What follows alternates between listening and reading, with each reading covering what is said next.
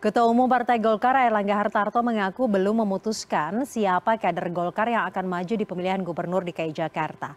Erlangga memberikan sinyal ada yang sudah on the way ke Jakarta hingga ada yang sudah pasang billboard.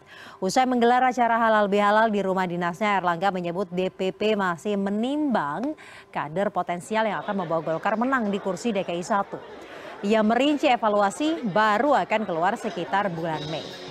Wartawan menanyakan sejumlah nama mulai dari Ridwan Kamil hingga Erwin Aksa. Erlangga menyebut RK sudah on the way Jakarta dan Erwin Aksa sudah memasang billboard. Tidak hanya potensi kader, Erlangga menyebut pemetaan penempatan wilayah juga dipertimbangkan. Pasalnya selain Jakarta, Jawa Barat juga turut jadi bidikan kemenangan Partai Golkar. Kang Emil sudah datang Jakarta. Tapi tentu kita evaluasi juga Jawa Barat.